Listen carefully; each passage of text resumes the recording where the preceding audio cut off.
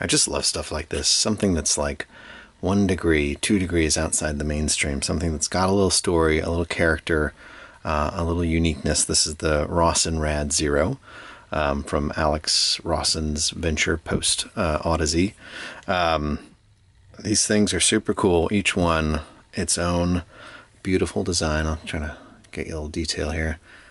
Uh, I like this one a lot. It's fun just to poke around on their gallery. They've got some some really really fun ones.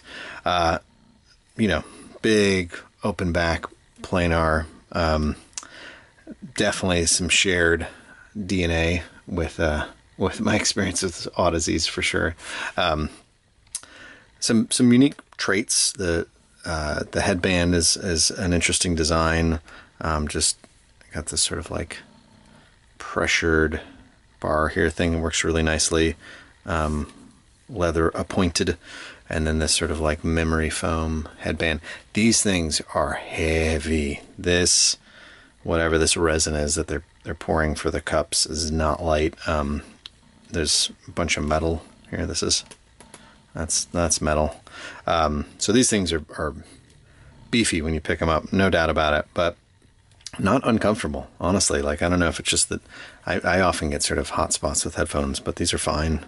Um, and something about the clamp and combined with the squishiness of this guy really doesn't bother me. I can wear them for extended periods. But man, when you pick them up, you do go, oh.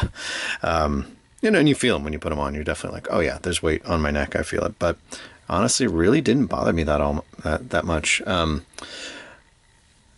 they have my favorite. Um, I don't. It's really hard to see, but uh, 3.5 millimeter connectors. I was a little worried that this little um, tight circle in the resin that they cut out for the connector would make it so that certain aftermarket cables wouldn't work, but I didn't run into that. I had a handful of cables that I tried it with, and everything worked fine. But something to be cognizant of, maybe. Um, but but yeah, so that's you know that's oh, and these super super super deep, very lush, cushy, pushy ear pads, um, which again sort of remind me of my past Audeze listening experiences. Uh, overall sound, um, that's just a super enjoyable listen. It is very full sounding, very lush, but there is plenty of detail to be had. Um, and that is not always a commonly achieved feat to have something that feels really rich and analog and sort of sweet, um, but also does present some nice little sparkle and crispness uh, when when called upon at the right moments. I guess it's sort of like an analog sound is what that, that kept, word kept coming to my head where I didn't feel like I was listening to the technology. I was just listening to the music. And this will sound kind of dumb, but the other thing that came into my head was like, oh, they sound like headphones. just like, yeah, well, they're headphones.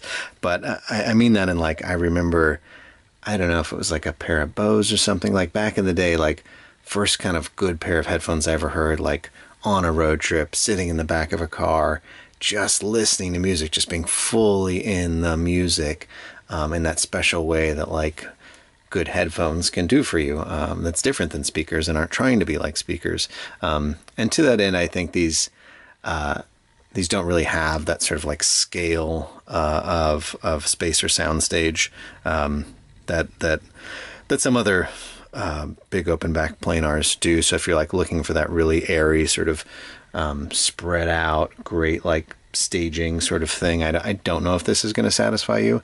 Um, also, I feel like these don't quite have the decay of some other really uh, some other planars at their price point where notes kind of end. You know, they don't just sort of go off into the forever void. Um, in terms of highs, uh, you know, the, the the treble is very detailed. It sort of feels a little rolled off, and that it's just a very low stress listening experience. But then you'll just get this little sparkle, this little pop every once in a while that reminds you, like, oh no, these things can produce quite a bit of detail uh, in the upper regions. Mids are creamy. uh, it's a little bit U-shaped, right? Like uh, vocals sometimes are a little bit set back, um, not coming as far forward as some other headphones. Um, um, but you know, they weren't lost. You weren't like searching for them with like just bass and treble, you know, crowding out the mids. They're, they're just just a little a little recessed maybe. Um, sometimes I feel like the lower mids got a little bit bloomy maybe. Um, yeah, bass bass is abundant. it is rewarding. Um, I have been listening some some drier, more bass light headphones lately. So coming to these was just like ah, so welcome. Um, you know, some upright bass or um, yeah, just like anything that really digs in and has like a resonant bass quality was just really really a treat on these. Um, compared to, so I, I happen to have the uh, HE 1000 V2s on hand, and that's sort of it's the same typology, open back planar, large format, um, similar price point. Um, so just as a comparison point, I think these two headphones are trying to do completely different things. Um, so this might push you into one camp or the other, maybe in your thinking, but like the HE 1000 is definitely lighter, lighter weight, certainly, but just in terms of its presentation, it's lighter, it's airier, it's brighter, um, it has less body, um, but a lot more focus, like a lot more definition on things, a lot crisper. The Rad is fuller, it's warmer, it's way more intimate, um, it's sweeter. Um, so yeah, I mean, I think they they're nice foils for each other because they're really trying to do pretty different things with sort of the same format and price point of headphone. Um, and obviously, these are one-off uniques, and the HE 1000 V2 is you know a cookie cutter in its its output. Um, not cookie cutter in its design. I'm just saying everyone's the same. Um, so yeah, I, I think you know I did I did try these with a number of amps um, and even a couple of DACs, uh, and for me, since they they are a little warmer and a little thicker, pairing them with a, like a drier, cleaner solid state amp actually was a really nice sort of compromise in terms of getting the best in terms they had to offer from detail. Um, you know, and, and sort of not just doubling down on that on that richness. That being said, I listened to some on some some tube gear as well, and they were, they were fun. They were nice. They were made me happy. So, kind of depends what you're trying to get out of it.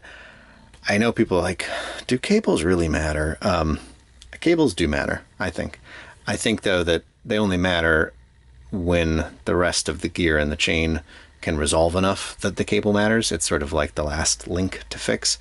But um, attaching these to some higher end gear, I, I did notice that swapping out for, I happen to have a, a silver cable that fits these, and it definitely like tightened and brightened it just a little bit.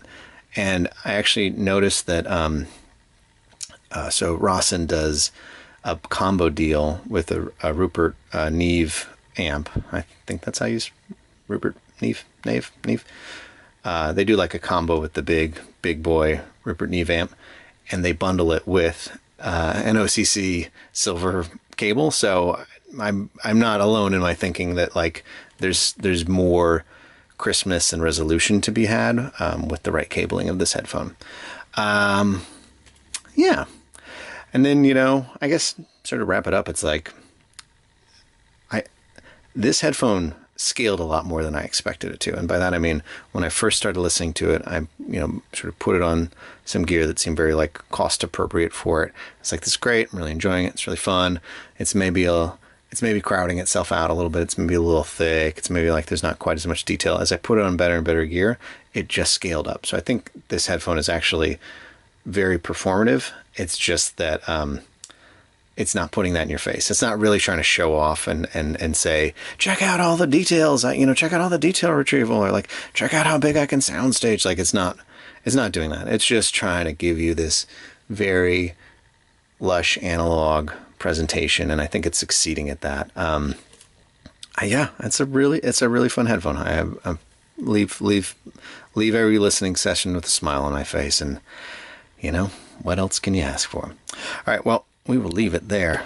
This is Sine Craft, signing off.